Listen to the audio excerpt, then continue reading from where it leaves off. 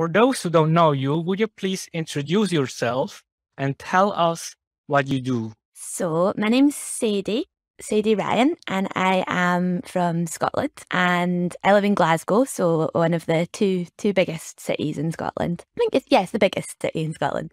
And I work at the University of Glasgow um, as a lecturer in languages and intercultural studies. I just started two weeks ago, so it's all quite quite new at the moment, but very exciting. And I make a podcast called Accentricity, which I've been making for a couple of years now. And it's all about language and identity. Sometimes it's about learning different languages and what that has to do with identity. Um, and a lot of the time, it's about accents and identity and just the different ways that we speak and what that has to do with who we are as people. I wanted to begin with the section about linguistics because you have made a PhD in social linguistics, right? Mm. Yeah, yeah, yeah. First of how do people react when they know about your profession being a linguist? To be more precise, to be a, a social linguist. What are some of the reactions? I think the first reaction a lot of people have, especially if they don't know very much about sociolinguistics specifically, is, oh, so you must speak loads and loads of languages. Um, like, what languages do you speak? Or sometimes I've had people just start speaking to me in German or Russian or something. Mm. um, and unfortunately, I don't speak lots of languages at all. Um, I mostly just speak English and a little bit of Polish and a little bit of French and a little bit of Gaelic. But I've just started learning Gaelic, but really mostly just English. So that's often a bit of a surprise to people. Obviously, some linguists do speak loads of languages, and I really um, wish I was one of them. I'm quite jealous of that. Um, but my work, linguists tend, mm, depending on what kind of linguistics you do, I think it's fair to say sociolinguists tend to specialize in one or maybe two languages um, and focus their research on just one or a few couple of languages at a time. Um, I also work on, I study multilingualism a little bit. So I kind of look more broadly about how different languages interact in our lives. Um, but yeah, so generally speaking, so linguistics is the study of language and it's incredibly varied and broad. And if you're to ask what a linguist does day to day, it varies an incredible amount. Yeah. Um, linguistics is really, really varied in terms of what we do and what what our day to day jobs look like. I must confess, to be honest, because at a certain point, I also thought that every linguist is able to speak many, many languages. Mm. I don't know why exactly, but I I've done some researches and some dictionaries online. Yeah. They even write it in the explanation well, sometimes. it's not that... it's not necessarily wrong. There's kind of two meanings of the word linguist. So one definition of linguist is somebody who speaks lots of languages and is interested in languages and mm-hmm. like mm-hmm. specifically learns like so that is one definition yes. of linguist it's just not the one that really applies to me unfortunately so it's it's definitely not wrong but i think that is so beautiful in general when it comes to languages because there is no white and black It mm. is always more layered right so mm. that makes it really beautiful but also difficult sometimes really complicated. I think when I was younger, and I, I mean, I didn't know that studying language was a thing that you could do when I was in school. So I knew that you could learn another language. We learned French in school. And I knew that there was a subject in school called English where, um, even though we all came to school speaking English pretty much, most people in my class came to school speaking English, even though generally we did we we had a class which was quite often about learning about proper grammar and kind of right yeah. and wrong and then it all got mixed up with kind of spelling and punctuation. And then when i went to university i i was actually studying english literature um because i really liked reading and writing. And i had a compulsory class that went with that called uh, english language and linguistics which i was really not thrilled about. I thought i was going to hate it and I thought it was going to be about how to speak English right. And like, I went to a school where a lot of people, we, we were often made to think that we spoke English wrong because we had an accent that that wasn't, you know, it's it's like you were talking about in Switzerland and speaking German where you are. Like we tended to speak in a way that wasn't thought of as the sort of the Queen's English, the standardized proper way to speak. so we were quite often being told that we spoke wrong. um, and I thought that this class was going to be more of that.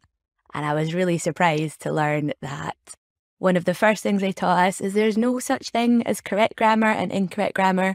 There's just different types of grammar. Even if you're learning a language, you might have a different way of speaking than somebody who's a native speaker. Doesn't mean that doesn't mean that it's wrong, it's just different. Yeah. And we can actually talk about and study the differences in the way that we speak. So the way that people from certain places speak differently to people from other places, even when it's an English speaking and officially English speaking country. Um, and people who are learning English might speak a little bit differently to people who've spoken it all their lives because their other languages are influencing the way that they speak. And there is beauty in that variety and it's, it's not right or wrong, it's just different. And that's kind of, that's how I like to think of sociolinguistics. So the term sociolinguistics is so socio as in society or sociology and linguistics as in language. So it's the way that society and language interact. And a lot of that comes down to different groups of people speaking differently. So sometimes it's about in what I look at, we look at social class quite a lot. So the way your sort of class background might have something to do with the way you speak. We look at gender quite a lot. So gender differences in the way people speak. We look at ethnicity, different different ethnicities and differences in the way that we speak. Um, and yeah, so it's it's a really interesting subject to me because I've always been really interested in identity. And I've always been really interested in language. And it's the way that language and identity and society all interact comes together in sociolinguistics, which is, yeah, that's why I love it.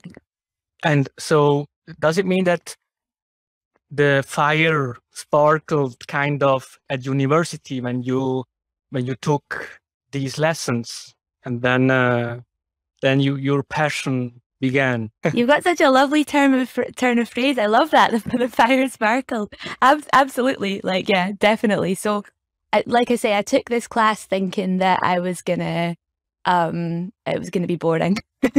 yeah. and that class was what got me interested very mm. much. But I think I was interested beforehand. It's just that I didn't know it was something you could do for a job.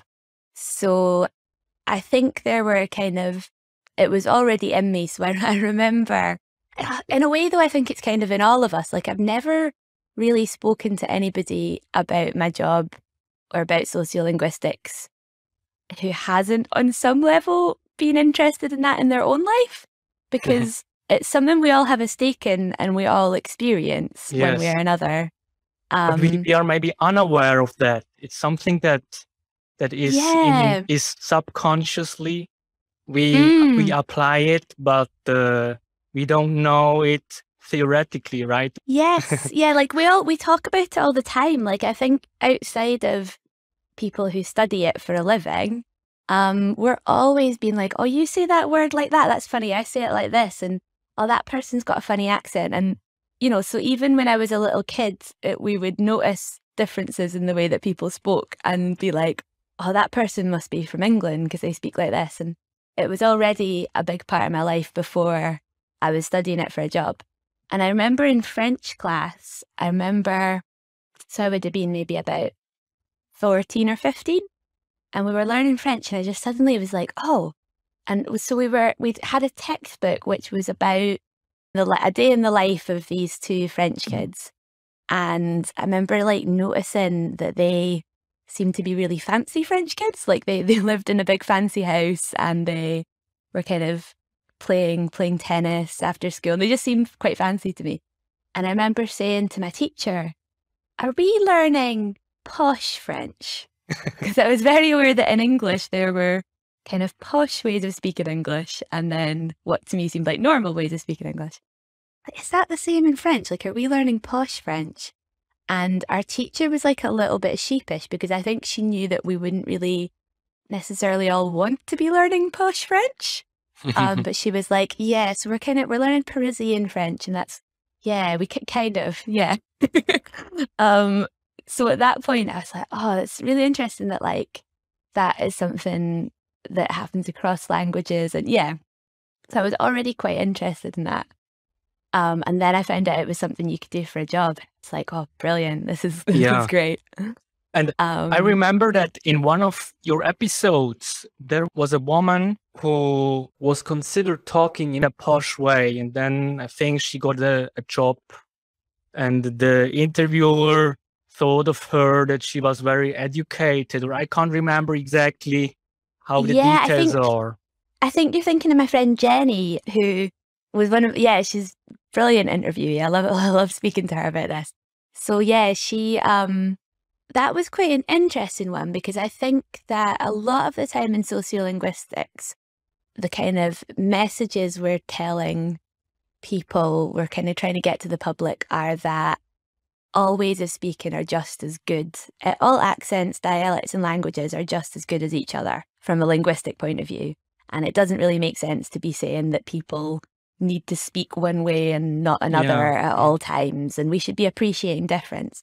So I think my kind of general way of thinking about language is that people speak differently, and that often has something to do with their background, their family, where they come from. So I was quite surprised when I spoke to Jenny, and she said, My background doesn't match the way that I sound at all.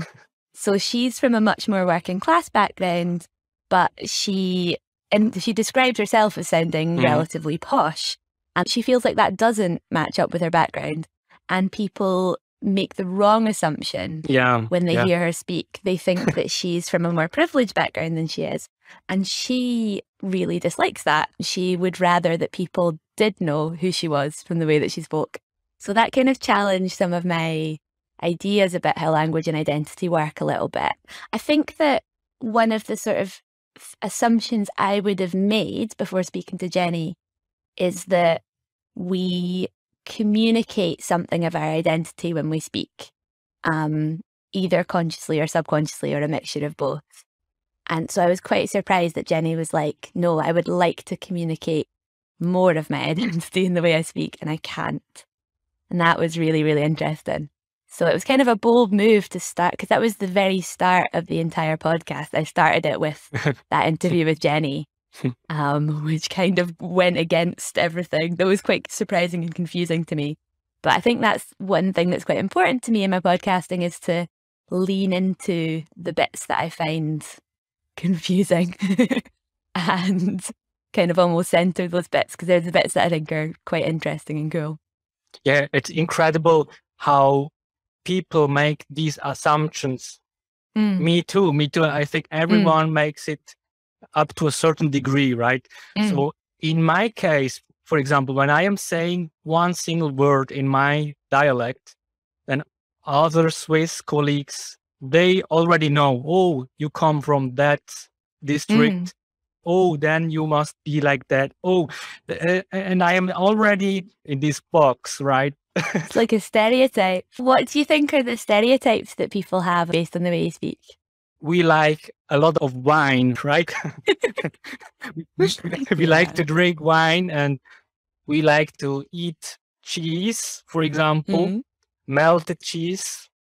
And and of course we like to ski and then Mhm. and there are many other things, but it's just it's hilarious because it's not it's not always true. So but and some of them are open right they they like me even though they don't know Mm. me and, and others they they say oh no I, I don't like that accent Mm.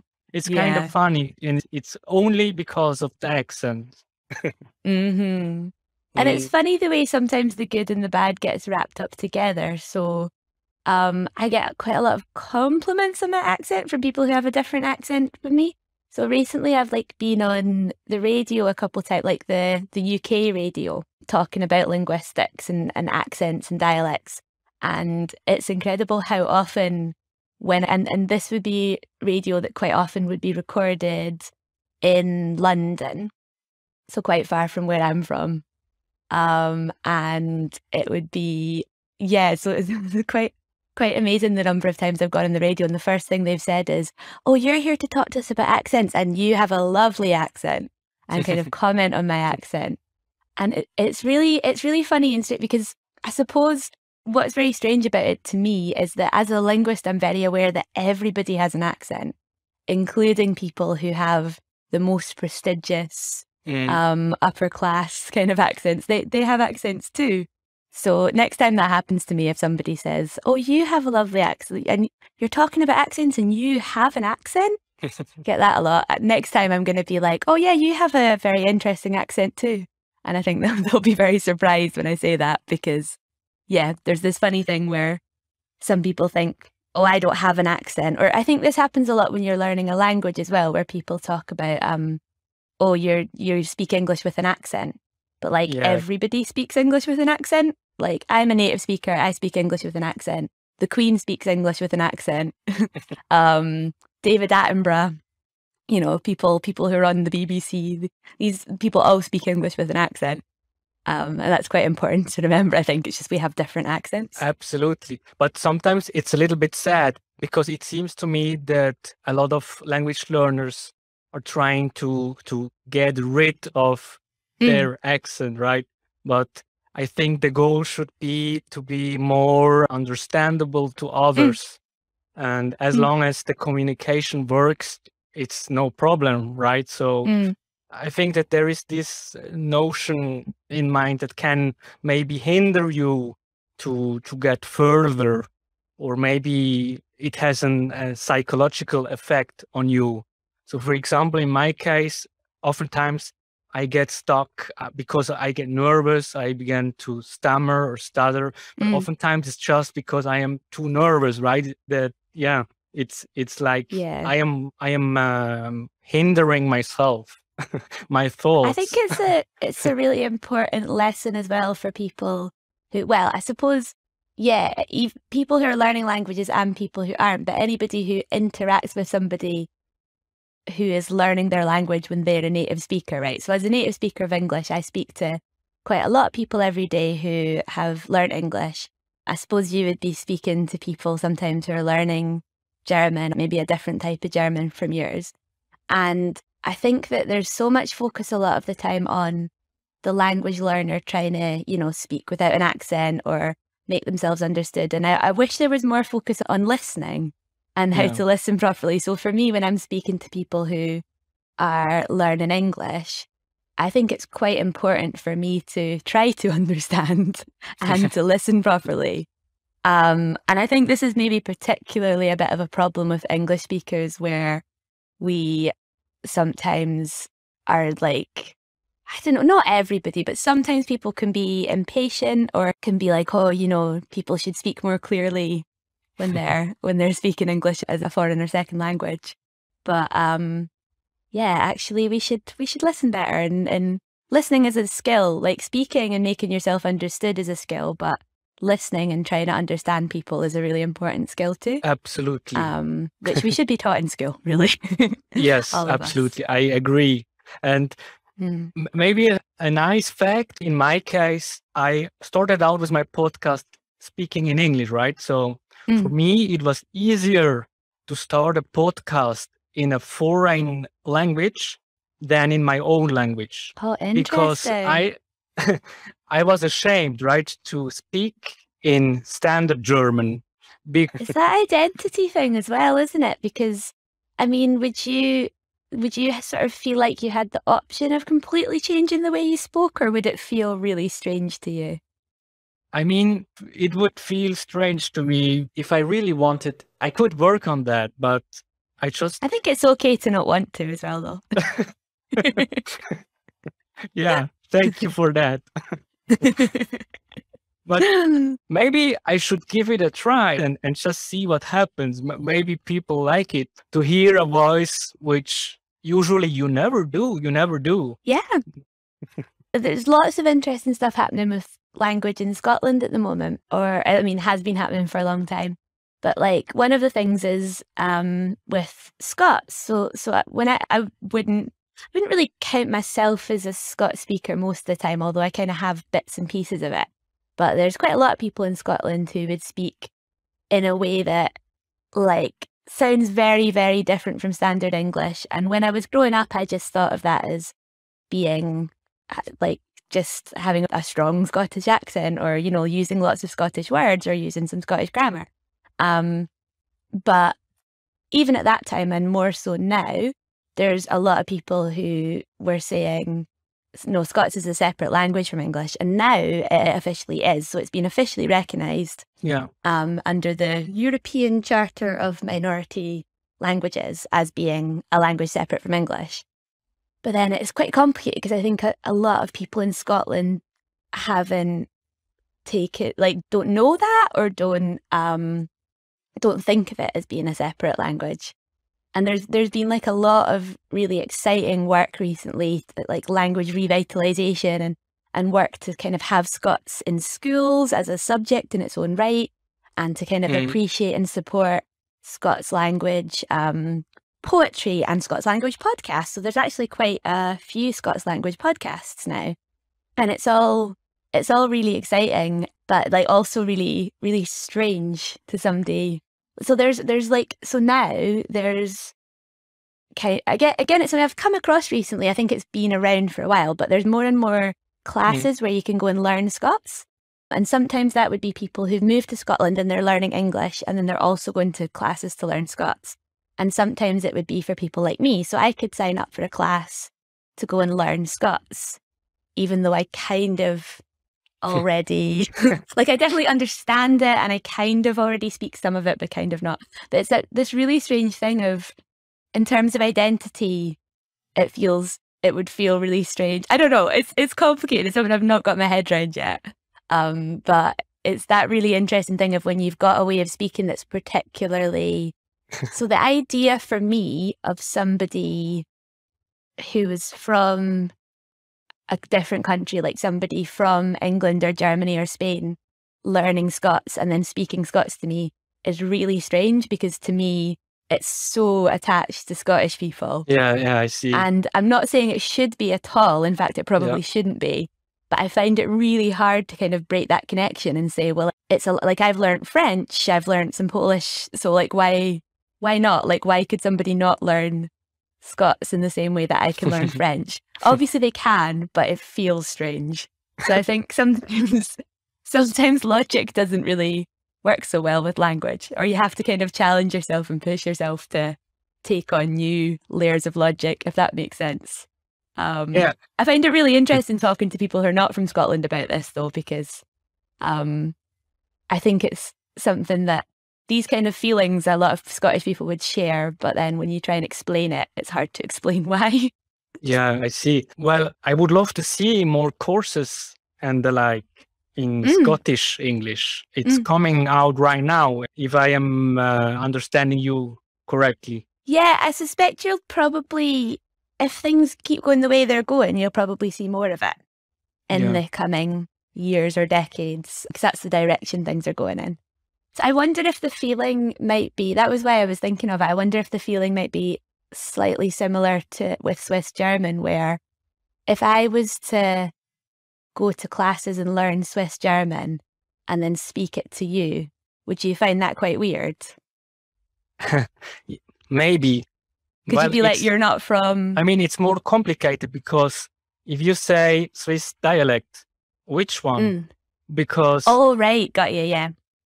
Scots is the same actually. Scots As is the same. Like there's different regional yeah. varieties. And, because, yeah. for example, other Swiss German people sometimes they don't understand me, even mm-hmm, though we mm-hmm, both mm-hmm. speak in Swiss German, mm-hmm. but it's not the same.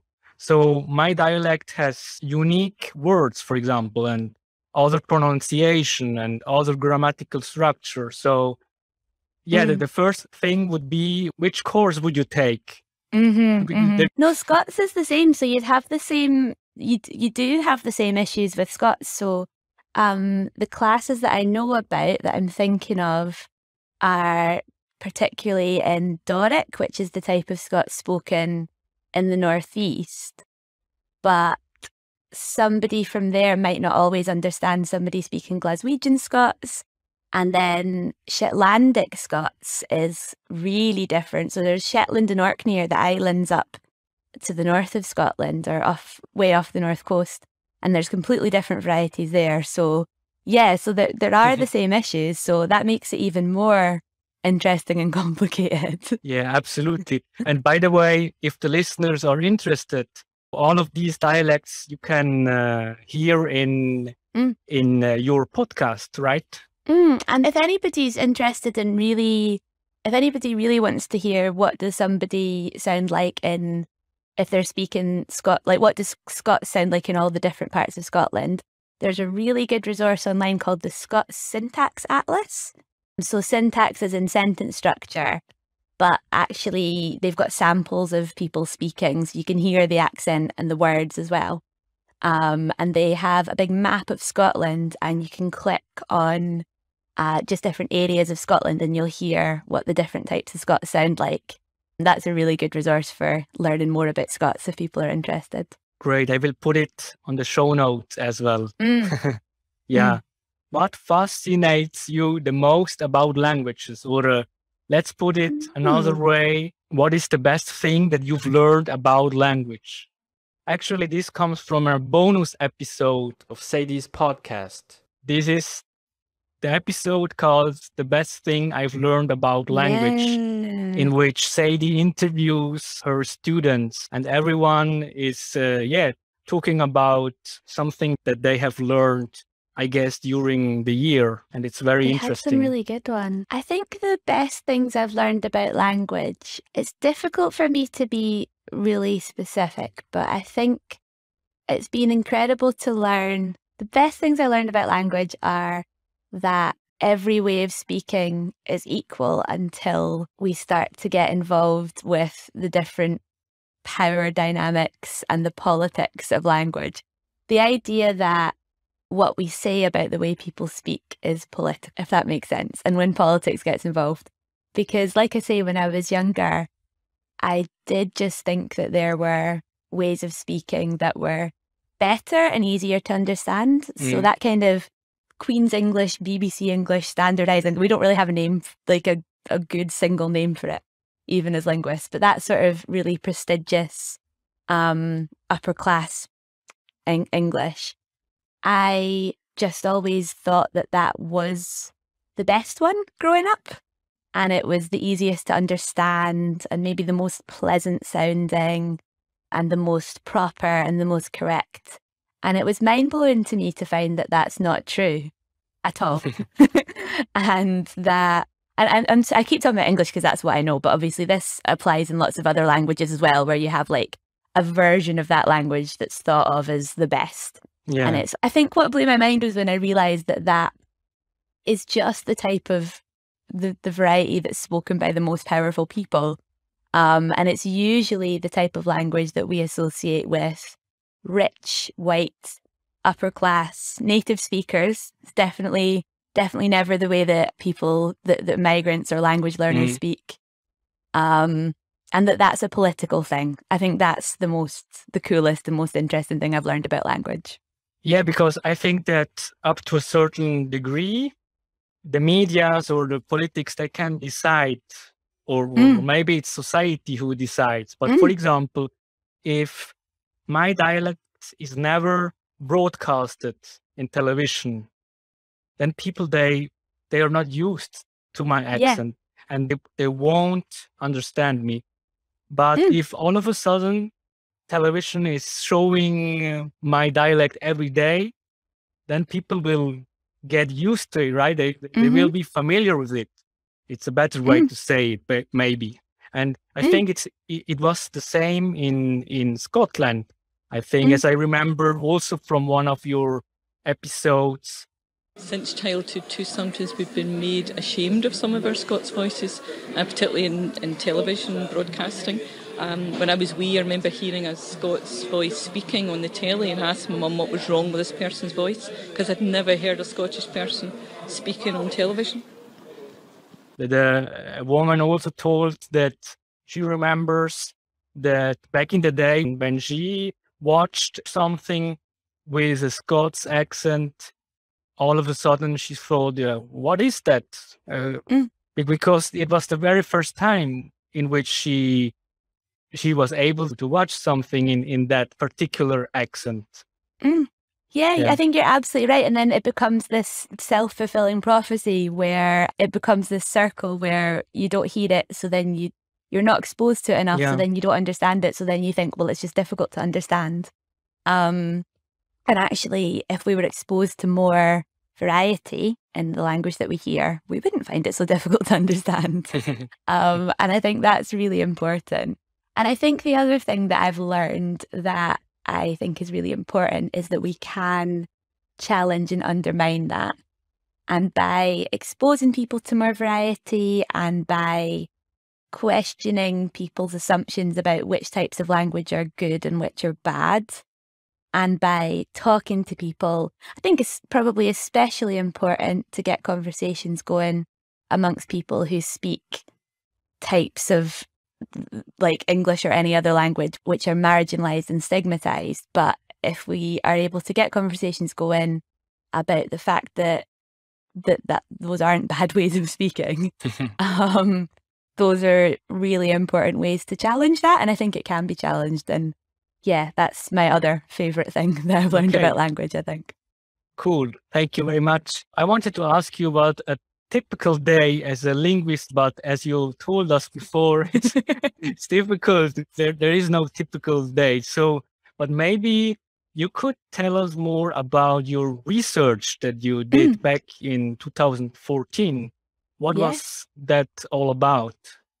Oh man, yeah. So my PhD research, I did it. So I've finished and handed in in 2018. I started doing my fieldwork in 2014 and I did research in a high school in the east end of Glasgow where there were quite a lot of kids who'd moved from Poland. And I looked at what the experiences of those kids were like and then how that related to or fed into their linguistic development.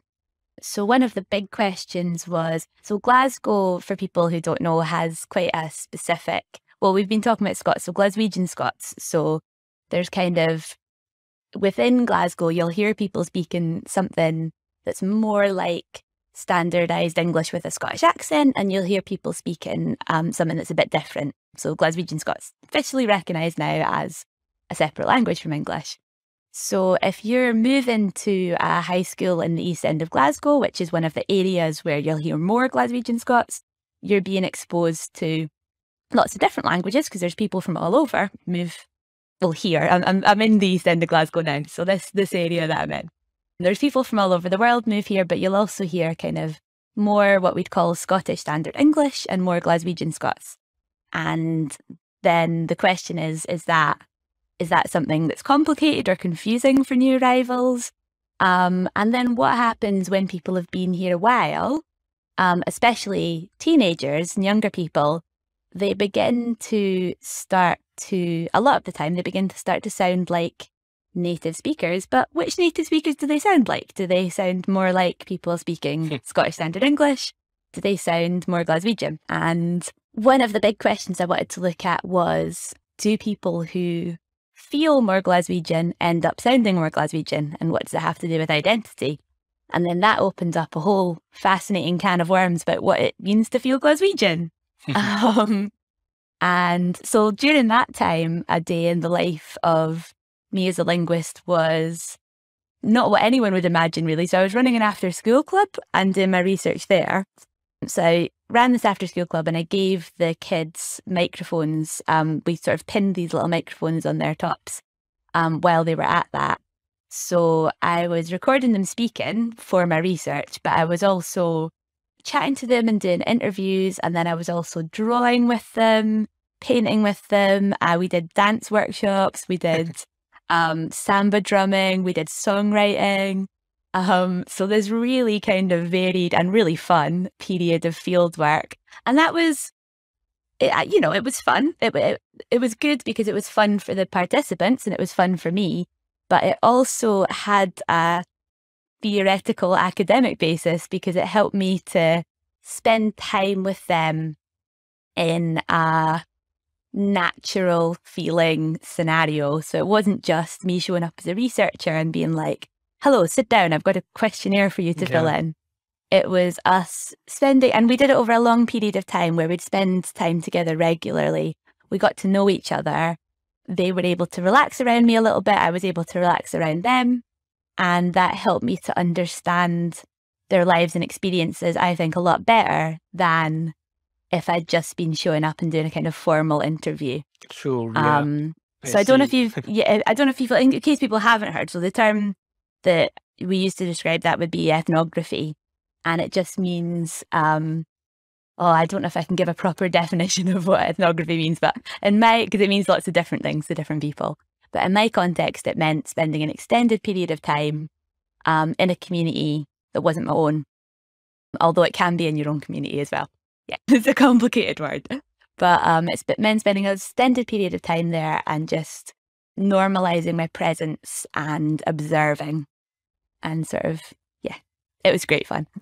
okay, yeah, that really sounds like great fun. Yes. I imagine that linguistics, if you read a book in linguistics, I imagine this could be very hard to understand.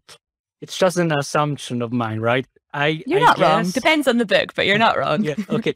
And I guess that you managed to put these difficult notions from a linguistic point into a podcast so that the layman understands complicated stuff.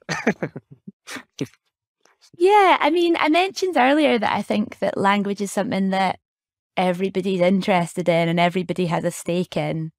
And I think for that reason, it's really important for us as linguists to open things up as much as possible and invite people in who who aren't professional linguists themselves. So um, I'm not the only one who thinks this. There's there's a lot of really good linguistics podcasts and good people who are really good at communicating linguistic research. Could you recommend some of them? Oh yeah, for sure. So um, oh now I'm really nervous about accidentally leaving people out.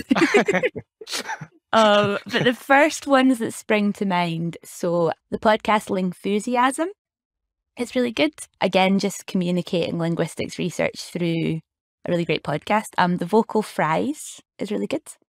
Um, I have been really enjoying a podcast called On Claire, which is about forensic linguistics specifically. So if anyone is interested in true crime, I know a lot of people love true crime podcasts.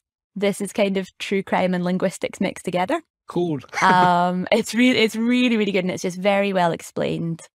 Um, and the person who makes that is called Claire Hardaker. She also has a really fantastic Twitter profile where she explains a lot of stuff that's going on in linguistics really, really well.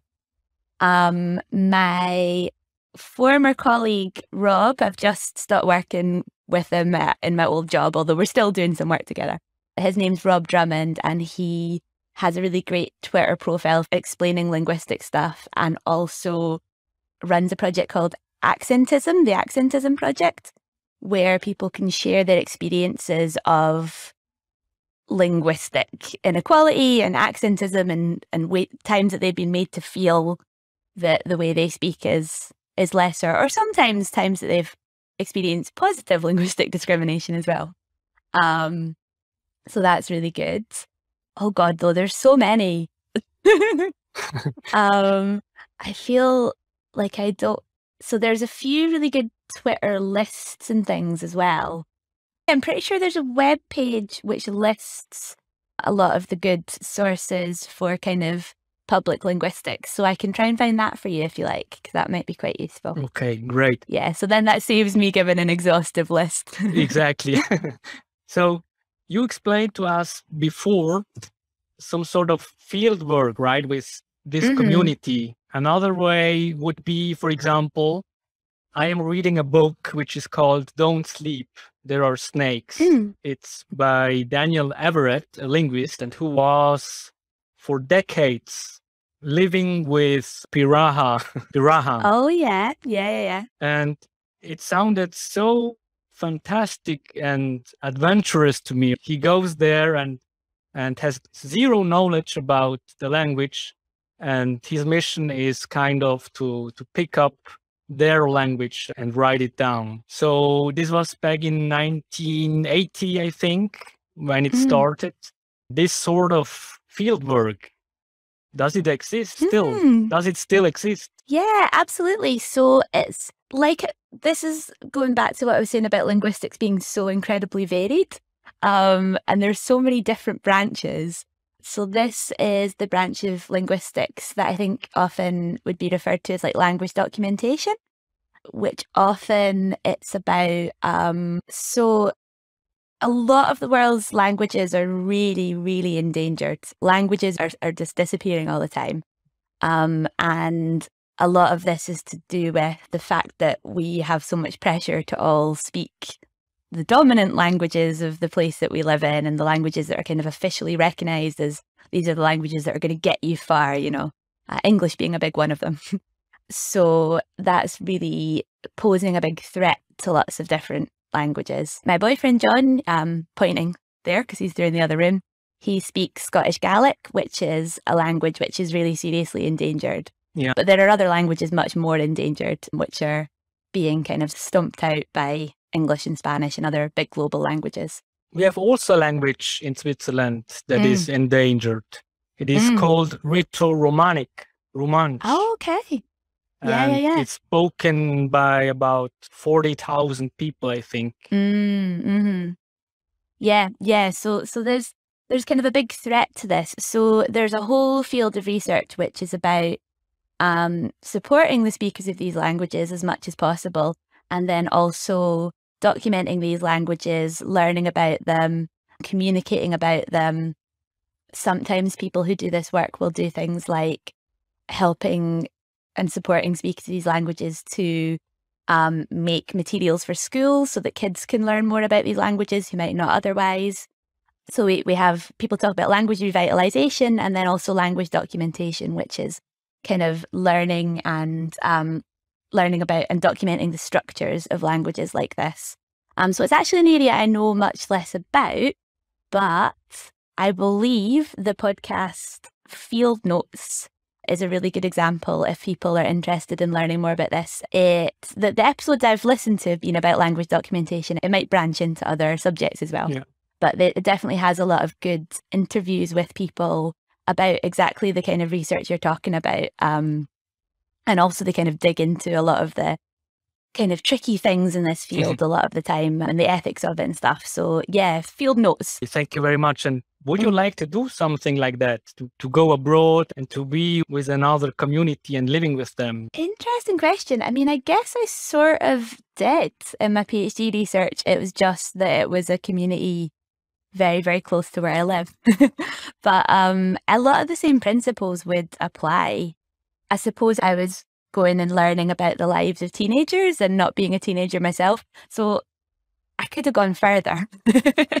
but um, yeah, I kind of had did have that experience of getting to know a community slightly different from my own and kind of live within that. Yeah, I don't know if I would or not. I think it's tricky. I think it's really tricky work to do in a way that isn't like really tricky work to do in a way that isn't just kind of like a person showing up from a university with all their big mm-hmm. fancy equipment and I suppose it's difficult to do in a way that is respectful and equitable.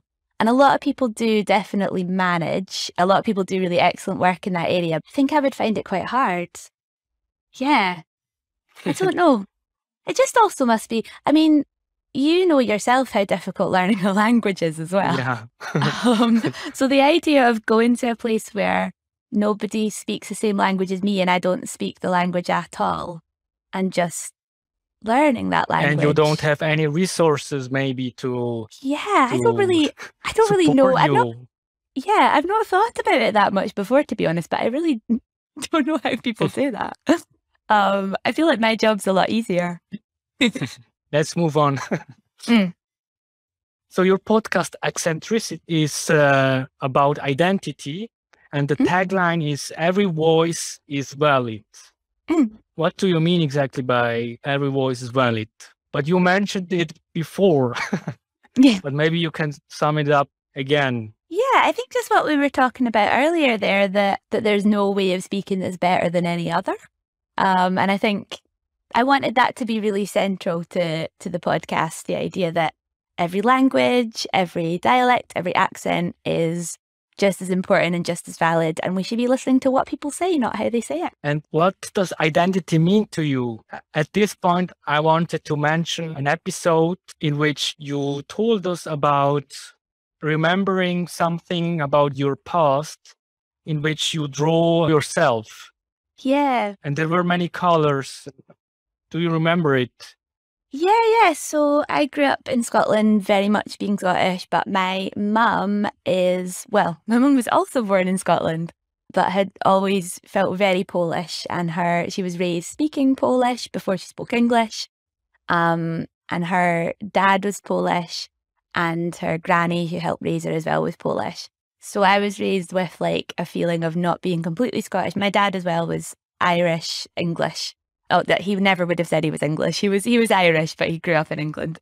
Um, so then I had this feeling of having different parts to my identity, um, with these different parts of my heritage. So yeah, I remember being like seven and drawing a self portrait, and then being like, okay, so I'm coloring in like my head and my hands are yellow, and that means Scottish, and my legs are green, and that means Irish and then my torso is um, purple, my arms are purple, and that means Polish.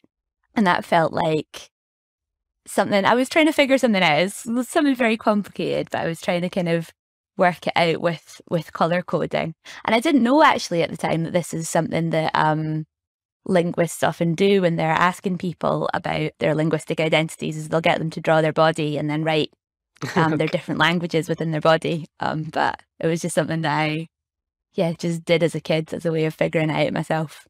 Yeah, but um, in, your case, it was really special because you didn't speak those languages. Right. Yeah. Right. That, yeah. that was very special. Not really. Yeah, yeah, yeah. So I had this.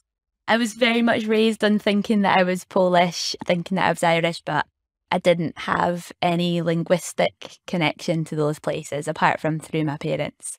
And none at all really to Ireland because my dad very much felt himself to be Irish and that was his identity, but he didn't have an Irish accent or speak Irish. Um, and my mum's Polish was very important to me, but I didn't, I didn't learn it growing up. So there was always a little bit of a disconnect between having this feeling of being quite Polish, but not being able to speak Polish at all. Yeah, and there is an episode with your mother actually, in which you tell her story about her identity at a certain point, you ask her if she was proud of you when you were uh, learning Polish, right? and then she didn't want to answer directly. you could hear it yes. very well. It's really funny because my mum, it's important for me to note, my mum is incredibly uh, supportive and lovely. And is always telling me she's proud of me.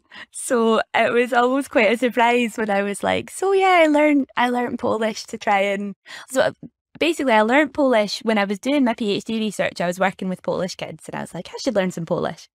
But then it also had this uh, other dimension where I was like, oh, I can learn some Polish to make my mum proud. Um, and it was really quite bizarre when I asked my mum, like, were you proud of me for for learning Polish? And she was like, I don't know, you sounded kind of weird. And this is some, I don't think this is unusual. To, I don't think this is particular to my mum. I've spoken to quite a few people who have a parent who speaks another language and then feels strange when they don't speak it the same way or when they speak it with a different accent. I think it must just be a really, and I can imagine this as well. So, say that I moved to Switzerland and I had kids in Switzerland and then they spoke English with a Swiss accent, mm-hmm. I would find that really weird because I'd be like, Do you not have a Scottish accent? I'm yeah. Scottish. How can you not be Scottish? You're my child. Mm-hmm. So I do get that from my mum. She hears me speaking this kind of beginner learner Polish and she's like, But you're Polish. Why can you not speak Polish naturally?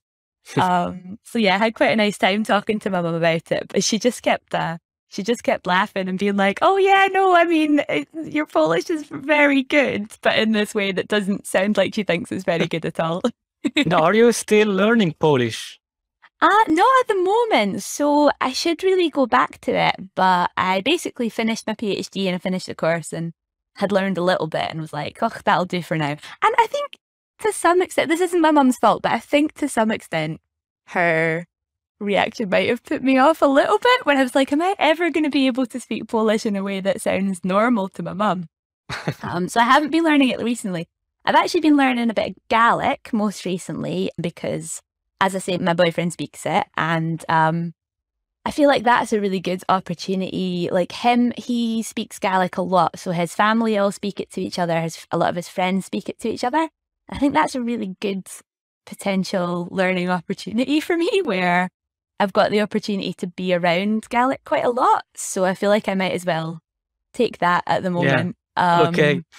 And being a linguist, do you think that it is easier for a linguist to pick up an accent or to learn a language? Or is no. this or is this again just an assumption? Not for me. Not for me. I don't know. I kind of might have thought that becoming a linguist would make it easier, but mm, I don't think it has.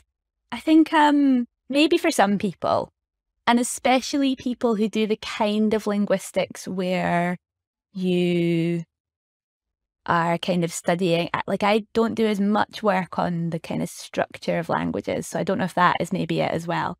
Um, the one place where it has been quite useful is I've learned about phonetics and learning the like phonetic symbols and things. That has been quite useful and when I was learning Polish that was really really useful for things like I kind of had an understanding of like if I knew the sort of technical phonetic symbols or names for certain sounds that we don't have in English, I was able to understand where in my mouth that was produced. So that was quite useful. But um, no, I, I don't know if I'm unusual or not being a linguist who is really not great at learning languages. um, but for me, I don't think being a linguist has really has really helped me learn other languages. Maybe it should have, but um, yeah, that's something. I mean, also, I'm quite early on in my career as a linguist. So, um, you know, I've been, so my very first linguistic research really was 2014, like you say, which yeah, is a wee while ago. But I think that maybe learning languages is like a step that I need to take next. Maybe I just haven't taken that step yet and learned more about other languages.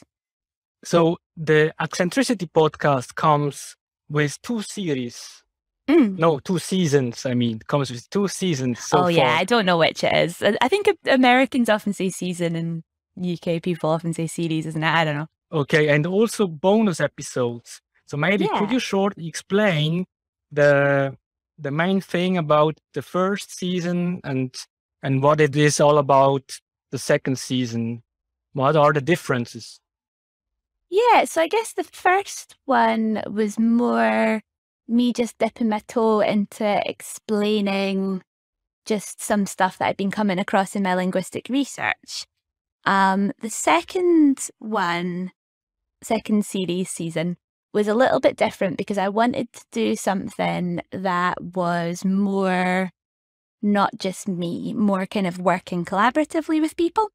So it's I've called the whole series the Moving Project, and it's specifically about language and migration, which is something I'm really interested in. But I decided to kind of bring in the stories of different people who've experienced migration. And it was something I did during the COVID 19 lockdown as like a nice community project. I was kind of stuck in my house and I wanted to have a chance to speak to people. Um, so we ran, me and John actually, my, my boyfriend, we ran this online podcasting course. He makes podcasts as well, so he, he does know about these things too. And we ran this online podcasting course open to people from anywhere in the world who had experienced migration in any form. And obviously, migration can be lots of different things. It can be temporary, it can be permanent, it can be across the world, it can be within the same country, it can be as a child, it can be as an adult. So it, uh, we wanted to get like a real range of different migration experiences. And with each person, we kind of did a little bit of an exchange where we taught them about podcasting in exchange for them teaching us about what it feels to to move from one place to another. Um, so each episode is a different person's story, um, talking about their experiences of language, migration, and identity. Um, and yeah, one of those stories is my mum's. so my mum took part in the course, and uh, that was how I got to ask her about. It kind of became both of our story about our family's experience of migration and Polish, and yeah, it was really interesting. Yeah, and I can assure you, dear listeners, that it is really worthwhile to to Oh, listen thanks. to the podcast and even binge listen to the podcast. so your podcast even got awarded. Could you tell us more about it? We got so we first of all got nominated for a British Podcast Awards. That was really exciting. It was quite just a short list of six, and uh, the others were all these amazing podcasts. I was really, really proud to be kind of on that short list. And then we got a prize. So we won the Independent Media Award from a group called Steady. Yeah, so that was that was really exciting. There were three podcasts that got selected for that, and we kind of got profiled and got some prize money and some training and mentorship over the course of a year. So that was really, really exciting. How did you feel about it winning this award? Yeah, it was fantastic. I mean, it was a big surprise. I was quite quite shocked because it was just, you know, the, I I really love the podcast and I'm really proud of it. But it is something that I've just done as a hobby myself in my spare time. So I wasn't kind of expecting it to be to get prizes. Um, but it was really exciting that it did, and then it also has helped. The fact that that prize came with kind of training and mentorship has really helped the podcast grow. Um, so that's been really exciting as well. And what will the next series be about? Oh, yeah, good question. So, uh, it's not been made yet, um, but I would really like to. So, we're actually still making a few more episodes of the Moving Project. So, that's what we're doing just now. So, we're going to have a few more of these stories about migration and identity coming out over the next wee while. Um, but after that, I would really like to make a podcast which is kind of a deep dive into language in Scotland. So, like we were talking about earlier, the kind of like improving my understanding of what's happening with Scots, um, thinking a bit about Scottish Gaelic and mi- minority languages generally, but specifically in Scotland. And then also thinking about the languages that people have brought to Scotland as migrants. And also, I'd quite like to do a video episode about um, British Sign Language in Scotland. So, basically, thinking about linguistic diversity in Scotland and multilingualism in Scotland across all those different areas. That's what I'd like to do. Okay, Um, yeah. Obviously, it's a big that that's a big undertaking. so um, there's a lot to dive into there. But yeah, I would like to look at Scotland as a multilingual place and how the different languages of Scotland interact with each other. Sounds promising. Yeah, I will definitely Mm. listen to it. Oh, thank you. so, Sadie, thank you so much. And maybe can you tell us where we can find you or um, Yeah, your so- podcast and your website? so so the website for the podcast is www.accentricity-podcast.com. And as far as I know, the podcast is on all the podcast streaming apps. But if anyone finds that it's not on a particular, not in a particular place where they get their podcasts, I would love them to let me know. That'd be really useful. Um, and we're on Twitter at Accentricity Pod and Instagram and Facebook. Just search for Accentricity Podcast. And um, I can be contacted through all of those if people, yeah, want to ask questions or point me in any direction. Wonderful. Thank you so much, Sadie. No worries at all. Um, would you like to? Did you mention doing a bit about favourite expressions? Yes, that would be lovely. Well, yeah. So my favourite expression, um, I mean, I've got loads, but I was thinking about this beforehand, and there's a Polish expression that I really like, which is I've heard it being used in English a bit more recently. Um, so it's I hope I'm pronouncing it right. I'm probably not, but um, nie mój, nie mój cyrk, nie moje małpy, and it means not my circus, not my monkey. Um, and it kind of means something along the lines of if there is a big fuss, a big Mhm. mess, lots of chaos going on, but it's nothing to do with you. You want to distance yourself from not it. Not your problem. not my problem, not my problem, not my circus, not my monkey. So in Polish, it's not my circus, not my monkey. And then when I've heard it in English, people usually say not my circus, not my monkeys, so plural. Um, cool. but I, I quite like that, especially because I think there's often a lot of focus of the influence that English has on other languages and less so the influence of other languages coming into English. And I imagine the fact I've heard this expression a lot in English recently is to do with um, people from Poland moving to the UK Mm, quite a lot yeah. and kind That's of that beautiful. being passed over. yeah. I love so I wanted that. to share it because of that reason. I quite I quite like it. That and I think so it's just cool. a great expression as well, isn't it? Yes. It's very useful. I use it all the time. cool. Thank you so much, Sadie. Thank you so much. It was really cool to listen to you and really interesting. Linguistics is, is really fantastic. I know. Thank you so much for having me. It's been lovely chatting.